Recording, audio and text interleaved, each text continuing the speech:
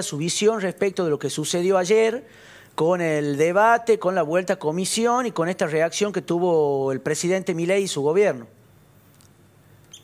Ah, diría que todo el trámite de esta ley ha sido muy irregular, ¿no? Para empezar, el proyecto de ley de esta magnitud que toca tan diversos temas, eh, todos mezclados, sin ningún orden de prioridad, en donde vos tenías cosas como, qué sé yo, la, ley de salud mental, la ley de mil días, temas impositivos, fiscales, del Código Penal, del Código Civil, eh, nuevas leyes para inversores, eh, había anexos que eran leyes completas, o sea, vos tenías un artículo que decía, modifícase la ley de competencia eh, y, te mandaba un anexo y ahí en el anexo tenías 45, 50 artículos que eran la ley.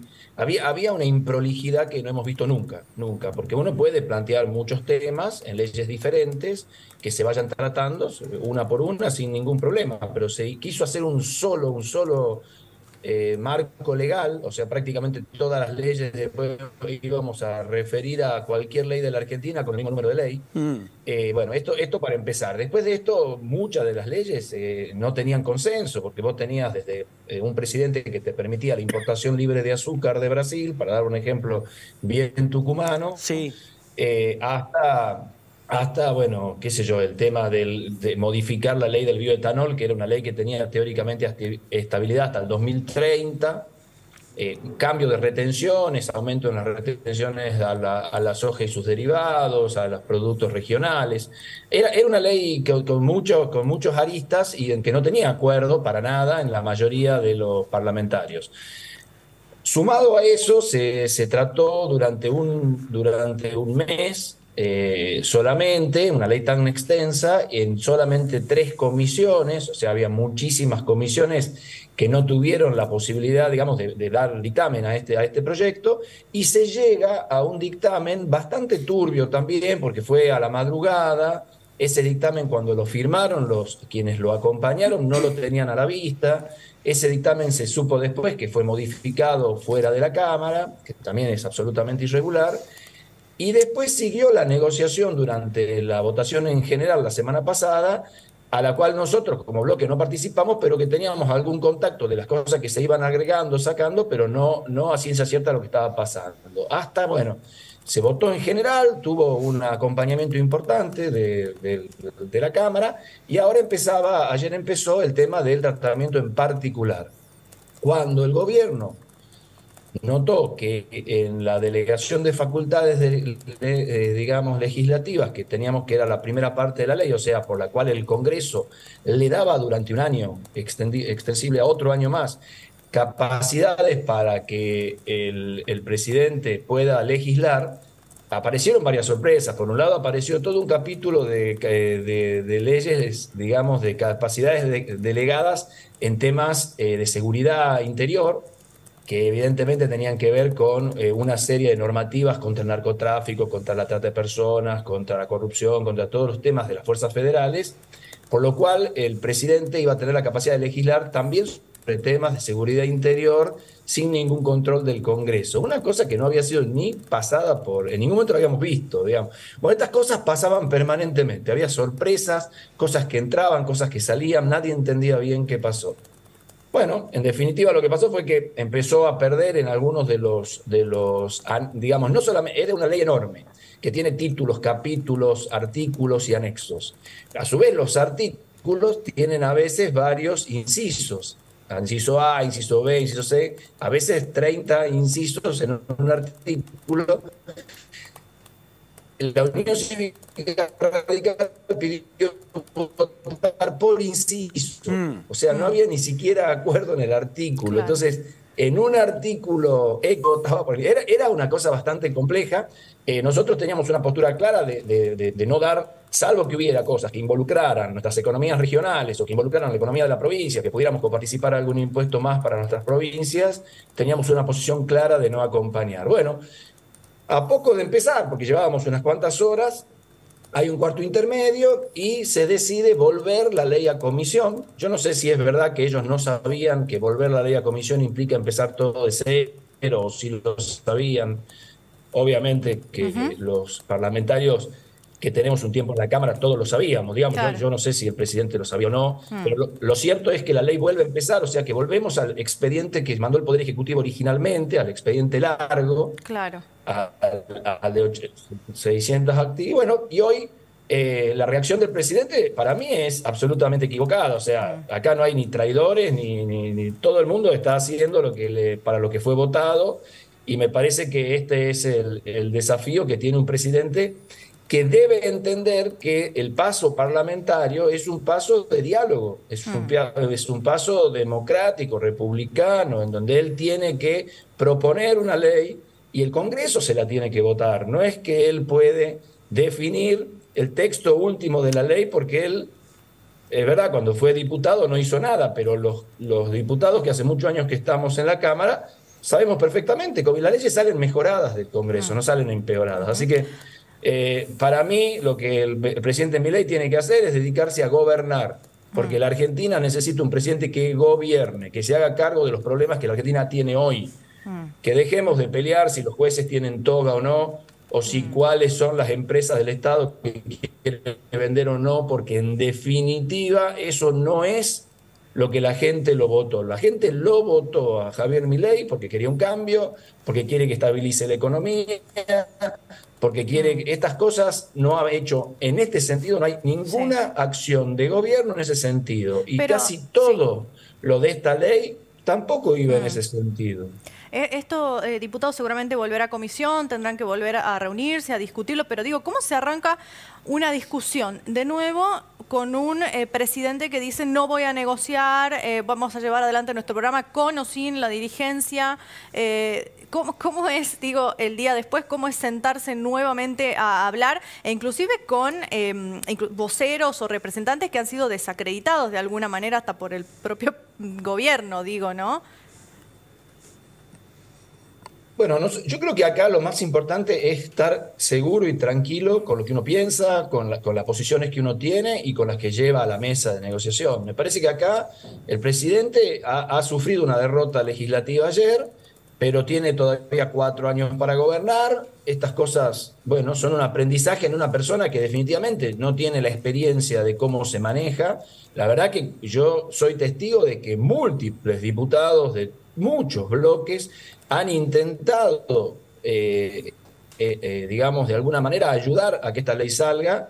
Pero bueno, cuando, cuando alguien no se quiere dejar ayudar, es muy mm. difícil, es muy difícil. Mm. Yo de verdad creo que hoy hay temas a ver, pues eh, el tema, qué sé yo, el ministerio, ministro de Salud de la Nación, al que nadie conoce en la Argentina. Necesitamos que gobierne, necesitamos mm. que encare una campaña contra el dengue, que hoy es una problemática en la Argentina. Necesitamos definitivamente que si van a tomar medidas contra la inflación, empiecen ahora las medidas para la inflación, porque si la única ancla que tiene la inflación es el salario de los, de los argentinos, la recesión que vamos a vivir va a ser peor que la recesión que tuvimos en la pandemia, a la que tanto se critica. Mm. La verdad es que necesitamos un gobierno que eh, encare los temas de seguridad, que mm. encare los temas, eh, pero no a través de la represión o solo a través de la represión de la protesta popular. No, el tema de la seguridad implica el tema del crimen organizado, el tema del narcotráfico. Ese es el tema que, para lo cual se lo ha votado. Ahí veía algunas declaraciones muy poco afortunadas de algunos, algunos ministerios bueno, si no nos votan la ley, entonces vamos a sacar los gendarmes de Rosario. Hmm. ¿Qué tiene que ver una cosa con la otra? Digo que el gran desafío que tiene la Argentina este, en este momento es dejar la grieta atrás y ponernos a trabajar en las cosas que los argentinos necesitan. Hemos pasado un mes discutiendo si es que vamos a modificar o no el Código Civil para ver si el divorcio vincular lo hacen los abogados o lo pueden hacer los escribanos. Claro. Eso es prioridad para la Argentina Seguro que no. Entonces, y, podría contarles cientos de artículos en el mismo sentido. Mm. Hace y fíjense, todo el capítulo fiscal, que era un capítulo que por ahí tenía alguna lógica, como el tema del blanqueo de capitales, el tema de la moratoria, porque se enojaron, lo retiraron completo. Y hubiera tenido bastante apoyo, porque me parece que era un artículo, era un articulado que sí tenía lógica. Claro, y más de emergencia quizás, ¿no? que, mm. ¿Perdón? No, y más de emergencia quizás que otros asuntos que han quedado en la ley. pero totalmente. Todos los impuestos que propone el proyecto eran impuestos no coparticipables. Mm. Y, y, hay una presión sobre los gobernadores absolutamente injusta e innecesaria. Los gobernadores son quienes llevan adelante la producción de la Argentina, los que generan riqueza en la Argentina. Ahogar a los gobernadores con el objetivo de disciplinarlos, no tiene ningún sentido. Acá lo que tenemos que hacer, sea cual sea el signo del gobernador, es entender que los recursos que el país recoge a, través de su sistema impositivo deben ser dedicados a que las provincias puedan seguir creciendo y produciendo. Mm. Obviamente con eficiencia, obviamente sin gastos superfluos, obviamente sin, sin cosas que no, no corresponden. Mm como siempre tuvo que ser, y, lo, y para eso está la justicia también. Ahora, me parece que acá hay una mirada de que el único que tiene razón soy yo, yo soy, eh, yo gané la elección y por lo tanto tengo un cheque en blanco y puedo hacer lo que quiero en la Argentina. Bueno, nadie tiene cheque en blanco en la Argentina, ni siquiera el presidente que ganó la elección. Nosotros no vamos a poner palos en la rueda. Lo que nosotros queremos hacer es acompañar y representar a aquellos que nos votaron para lo que estamos haciendo. A nosotros nos votaron para hacer oposición en este Congreso. Eh, y vamos a hacer una oposición responsable. Mm. Y hemos intentado de todas maneras pero les digo la verdad, no hay voluntad de diálogo ni de consenso con aquellos que no piensan exactamente como ellos. Mm. Eh, diputado, usted eh, recién hablaba de estas presiones del presidente para disciplinar a los gobernadores. ¿Cree que lo disciplinó el gobernador Jaldo? No, Osvaldo, Osvaldo Jaldo está haciendo lo mejor para todos los tucumanos. Y los tucumanos tienen que saber que tienen un gran gobernador que está trabajando para que a Tucumán le vaya bien pero eh, no le ha tocado, la verdad, un gobierno nacional sencillo. Es un gobierno nacional muy complejo, no solamente por una mirada política, sino te diría por falta de mirada política, que mm. es, es, el problema más grave. Y acá no es un tema de la casta o, las fuerzas del cielo. Acá de verdad es un tema de todos colaborando para que nos vaya mejor. Mm. No, no, decía por este tema de, la separación de un par de, parlamentarios nacionales del bloque, que tuvo reacciones inclusive usted respecto de ello, que por ahí capaz que eso sonaba como que se había disciplinado o alineado Jaldo con, con Milei. Ha hecho el mayor esfuerzo el gobernador Jaldo para, para darle las herramientas al gobierno nacional. Eh, desde su mirada ese era el camino. Nosotros hemos pensado, yo y Carlos Cisneros, que el camino era otro pero es, tanto respetable uno como otro. Lo, que acá, lo que tenemos que hacer es explicarle al presidente, porque acá el problema no es Osvaldo Jaldo, acá el problema es Javier Milei, que definitivamente no, no se pone a gobernar, mm. que recorra la Argentina. Ha ido a Davos, ahora está en Israel, va a ir al Vaticano, dos veces a Mar del Plata a ver, a, ver el show de su mujer. Lo que necesitamos es que este hombre recorra la Argentina, se siente con la gente, que hable con los productores y que entienda que la Argentina no es un tablero de microeconomía en una clase en una universidad. Mm. Es un país complejo, con necesidades importantísimas y con gente que hoy no llega a fin de mes, no puede comprar los remedios, porque se, pero no porque la inflación venía del gobierno anterior como sí venía del gobierno anterior, pero se ha acelerado de una manera eh, increíble en estos últimos meses porque liberó los precios, porque no, porque liberó todos los precios y porque devaluó el 120% y porque permitió que los combustibles se vayan a un valor importante. Y todo eso genera un aumento inflacionario que es el que estamos viviendo.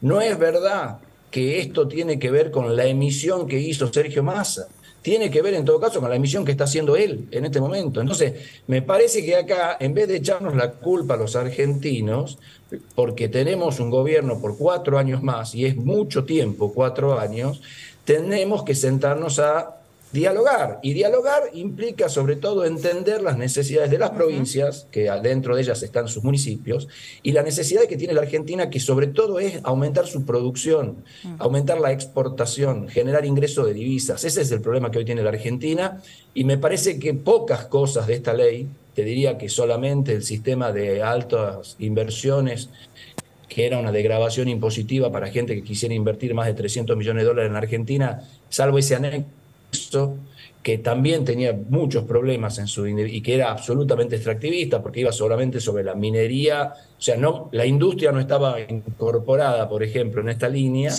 Me parece que necesitamos una Argentina que agregue valor, porque si no vamos a volver al siglo XVIII para para siglo XVIII XIX para hacer solamente mano digamos productores de materia prima, eh, nunca tendremos empleo para los argentinos, que es otro problema que tenemos que resolver. Entonces, a mí me parece que este es un gobierno con muchos dogmas, con muchos dogmas. Entre esos dogmas está que la política eh, no sirve para nada y eh, hace mucho tiempo que casi todos ellos son políticos. Entonces me parece que se cae solo el dogma, porque vos tenés un gobierno que lo tiene a Daniel Scioli, que lo tiene a Ángel Pichetto, que lo tiene a, a toda esta gente eh, son de la política. Y a mí me parece bien, no me parece mal. Lo que digo es que tampoco nos pongamos desde un lado las fuerzas del cielo y del otro lado la casta, porque definitivamente en el medio están los argentinos que lo que necesitan son soluciones. Y mm. soluciones significa que el mercado interno funcione. Mm. El mercado interno no va a funcionar con el nivel de recesión que este gobierno nos está llevando. Mm.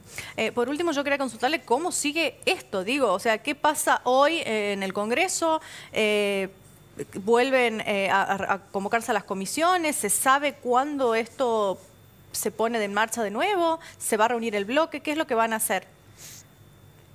Bueno, nosotros ya nos reunimos. El bloque se reunió ayer eh, después de, porque la verdad que fue bastante mm. inesperado todo lo que pasó. Nosotros estábamos previendo una semana larga de trabajo en el recinto para ir viendo ley por ley.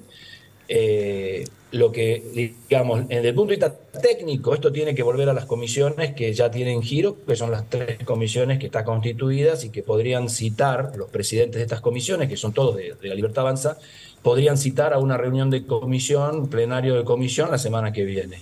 En mi opinión, esto no va a suceder. En mi opinión, lo que va a pasar es que el Ejecutivo, y, no, y, me, y me parece bien, va a retirar el proyecto mm. y lo va a replantear. Y espero lo plantee con una lógica de tratamiento ya en sesiones ordinarias eh, en tema por tema. Y ojalá en esos temas venga la posibilidad, por ejemplo, de coparticipar el impuesto país, que en este proyecto lo que hacían era modificar el destino del impuesto país, solamente iba a quedar para el PAMI y para el ANSES en este proyecto, y después apareció la posibilidad que los gobernadores propusieron de que una parte de este impuesto, cerca del 30%, eh, venga a las provincias y a su vez un porcentaje que sí estaba en el impuesto país original siga sosteniendo el programa de barrios populares, que es un programa de infraestructura sobre barrios populares, se llama RENAVAP. Mm.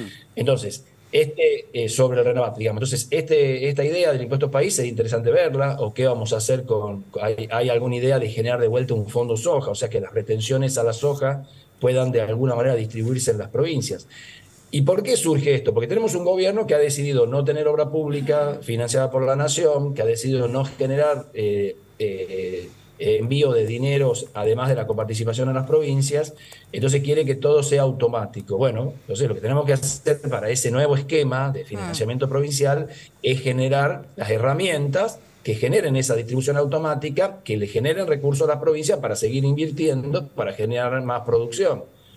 Eh, este es el desafío que tenemos y, bueno, nosotros vamos a plantear estos proyectos, lo digo desde el bloque nuestro, lo vamos a plantear como tantos otros proyectos que tenemos y que obviamente en este momento no podemos plantear porque estamos en periodo extraordinario. Solamente el Poder Ejecutivo puede plantear proyectos hasta marzo. Claro, claro. Pero a partir de marzo vamos a intentar sesionar todas las semanas y el objetivo nuestro es avanzar en un paquete de leyes que colaboren con nuestros gobernadores y con nuestras provincias, que es nuestro objetivo principal. Gracias, diputado, muy amable eh, por la charla. Que estés bien, buen día. Gracias a ustedes. Hasta luego. Bueno. hablábamos con uno de, los referentes de, eh, Unión por la Patria, sí, exactamente, eh, en el ámbito eh, nacional. Y bueno, cómo sigue esta, esta situación también en el, en el, Congreso y las reacciones del día después, ¿no?